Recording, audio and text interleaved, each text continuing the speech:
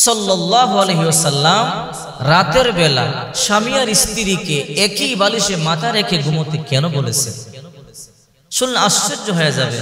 রসুল করিম সাল্লাহ বলেছেন, তোমরা যখন রাতে ঘুমোতে যাবে, অবশ্যই স্বামী আর স্ত্রী একই বালিশের মধ্যে মাথা রেখে ঘুমাবে। কিন্তু কেন বলেছেন? এর মধ্যে কি আছে? ওটা আমাদের শোনা দরকার। বিশ্বনবী মোহাম্মদ রসুল্লাহ সাল্লাহ আলহি উম্মতের কল্যাণকামী ছিলেন। যে কাজে উম্মতের জন্য কল্যাণ হবে উম্মতের জন্য ভালো হবে। সেই কাজগুলো বিশ্বনবী মোহাম্মদ রসুল্লাহ ওসাল্লাম করবার জন্য বলে গেছেন। আর যে কাজগুলো উম্মতের জন্য অকল্যাণকর হবে, বিপদ হবে, সেই কাজগুলো থেকে বিশ্বনবী মোহাম্মদ রসুল্লাহ উম্মতদেরকে নিষেধ করে গেছে যে এই কাজগুলো তোমরা করবে না, বিপদ হবে। আর এই কাজগুলো করবে তোমাদের জন্য কল্যাণ হবে। রসুল করিম সাল্লাহ সাল্লাম দুনিয়াতেও উম্মতের জন্য কল্যাণকারী ছিলেন। আর পরকালে রসুল করিম সাল্লাহ সাল্লাম এই উম্মতকে ছাড়া জান্নাতে একটা কদমও বাড়াবে না। সমস্ত নবীরা বলবে, ইয়া রব্বি নাফসি, হে রব, আমাকে বাঁচান আমাকে বাঁচান, আমার কি হবে, আমার কি হবে? আপনার আমার নবী কে কিয়ামতের ময়দানে বলবে, ইয়া রব্বি হাবলি উম্মতি, ইয়া উম্মতি, ইয়া রব্বি উম্মতি, হে আমার রব, আমার উম্মতের কি হবে? আল্লাহর হাবিব উম্মতের জন্য কান্না করবে। বিশ্বনবী দুনিয়ার জমিনে তিনটা জায়গার মধ্যে ফাঁকা রাখতে নিষেধ করেছেন। এই তিনটা জায়গার মধ্যে তোমরা ফাঁকা রাখবে না। তাহলে শয়তান ঢুকে যাবে। শয়তান ধোকা দিবে। এক নম্বর জায়গা হলো দিনী মজলিসে, যেখানে দিনী আলোচনা হয়, দিনী কথাবার্তা হয়। সেখানে গায়ে গা লাগায়া বসবা। সেখানে ফাঁকা রাখবা না। ফাঁকা রাখলেই শয়তান ঢুকে যায়। শয়তান ধোকা দেওয়ার চেষ্টা করে। এই জন্য নবীজি বলেন, যেখানে দিনই মজলিস হয়, দিনের আলোচনা হয়, কোরআন হাদিসের আলোচনা হয়, ওই জায়গাতে ফাঁকা রাখা যাবে না। ওই জায়গাগুলো তোমরা গাদে। এরকম ভাবে কাঁধে কাঁধ লাগিয়ে বসবে, যেন শয়তান তোমাদেরকে ধোকা দিতে না পারে। দুই নম্বর হলো আল্লাহর হাবিব সাল্লাল্লাহু আলাইহি ওয়াসাল্লাম বলেন নামাজের কাতারে, যখন তোমরা দাঁড়াবে, ফাঁকা রাখবে না। আমাদের সমাজে দেখা যায় একজন আরেকজন থেকে এক হাত দূরে থাকে। অনেক সময় এরকম দাঁড়ায় না না, হাদিসের মধ্যে এসেছে, গায়ে গা লাগিয়ে দাঁড়াবেন, কাঁধে কাঁধ লাগিয়ে দাঁড়াবেন।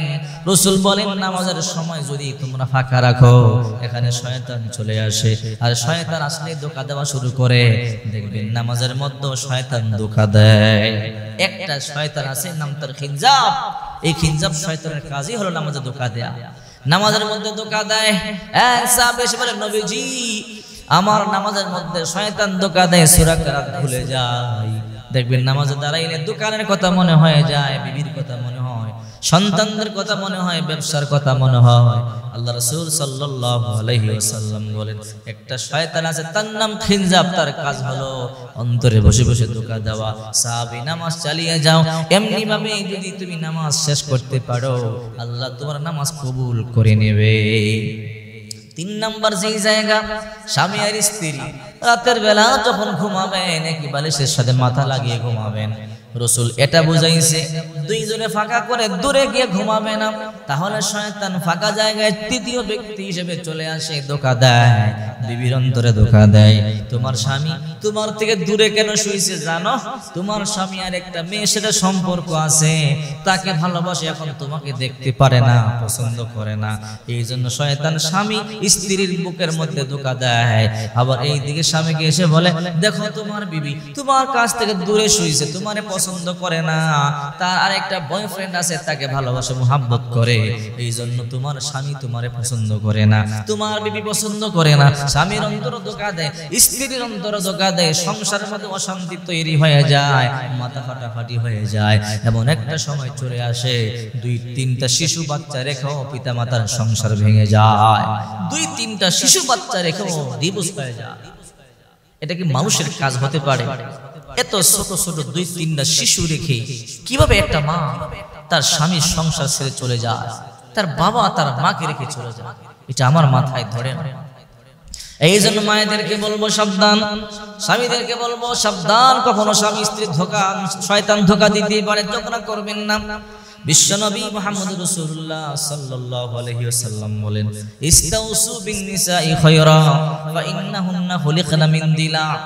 সাবধান, তোমরা তোমাদের বিবিদেরকে মারবা না, প্রহার করবা না, কষ্ট দিবা না।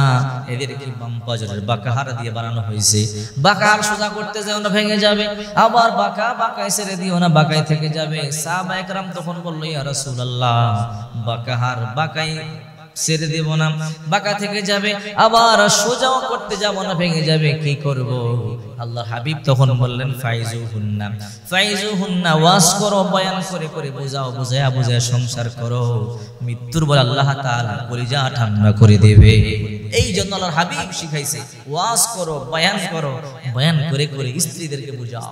এই জন্য আমি বলতে চাই, রাতের বেলা যখন স্বামী আর স্ত্রী ঘুমাবেন, অবশ্যই একই বালিশের মধ্যে মাথা রেখে ঘুমাবেন। নতুবা ভয়ঙ্কর বিপদের মধ্যে পড়বেন।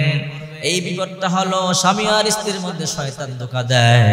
শয়তান ধোকা দিয়ে সংসারটা ভেঙে ফেলবার চেষ্টা করে। অথচ স্বামী আর স্ত্রীর ব্যাপারে রব্বে করিম কত সুন্দর আয়াত নাজিল করেছেন। হুন্না লিবাসুল লাকুম ওয়া আনতুম লিবাসুল লাহুন্না। স্বামী আর স্ত্রী এক অপরের ভূষণ ভূষণ। স্বামী আর স্ত্রী এক অপরের পোশাক। আল্লাহ পাক রব্বুল আলামিন স্বামী আর স্ত্রীকে বানাইছে এক অপরের কল্যাণের জন্য, এক অপরে ভালোবাসার জন্য, মোহাব্বতের জন্য। স্বামী আর স্ত্রী একে অপরের দিকে তাকানো সওয়াব স্বামী আর স্ত্রী স্পর্শ করা সওয়াব স্বামী আর স্ত্রী হাসি ঠাট্টা করা সওয়াব স্বামী আর স্ত্রী আনন্দ করা সওয়াব স্বামী আর স্ত্রী মজা করা সওয়াব স্বামী আর স্ত্রী দৌড়াদৌড়ি করাও সওয়াব যদি কেউ কারও মুখের মধ্যে খাবার তুলে দেয় সওয়াব হয়। চিন্তা করছেন। স্বামী আর স্ত্রী তাকাইলে সওয়াব, স্পর্শ করলে সওয়াব, হাত দিয়ে একে অপরকে ধরলে সওয়াব, মজা করা সওয়াব, আনন্দ করা সওয়াব, হাসি ঠাট্টা করা সওয়াব। আল্লাহ পাক রব্বুল আলামিন স্বামী আর স্ত্রীকে বানাইছে শুধু একে অপরের কল্যাণের জন্য। স্বামী আর স্ত্রীর মতো আপন কি দুনিয়ার কেউ আছে? কেউ নাই।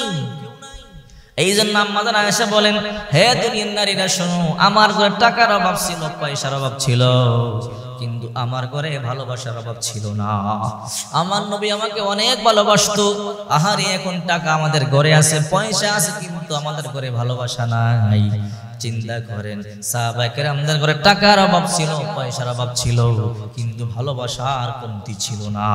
নবীজি যখন ঘরে ঢুকতেন, মা আয়েশাকে লম্বা করে সালাম দিতেন, দুই নম্বরে মুসাফা করতেন, তিন নম্বরে বুকে জড়াতেন, চার নম্বরে কপালের মধ্যে চুমু দিতেন। মা আয়েশা বলেন, আবার আমরা যখন খাবার খেতে বসতাম, নবী একা খেতেন না, আমি গ্লাসের সেই জায়গা দিয়ে পানি পান করতাম ঠোঁটের দাগ দেখে আল্লাহ নবী সেই জায়গা দিয়ে পানি পান করত। আবার আল্লাহ নবী যেই জায়গা দিয়ে পানি পান করত, মা আয়েশা ওই জায়গা দিয়ে পানি পান করত। আবার মা আয়েশা যেই জায়গা দিয়ে হাড্ডি চিবুতেন, নবী ওই জায়গা দিয়ে হাড্ডি চিবুতেন। আবার আমার নবী যেই জায়গা দিয়ে হাড্ডি চিবুতেন, মা আয়েশা ওই জায়গা দিয়ে হাড্ডি চিবুতেন।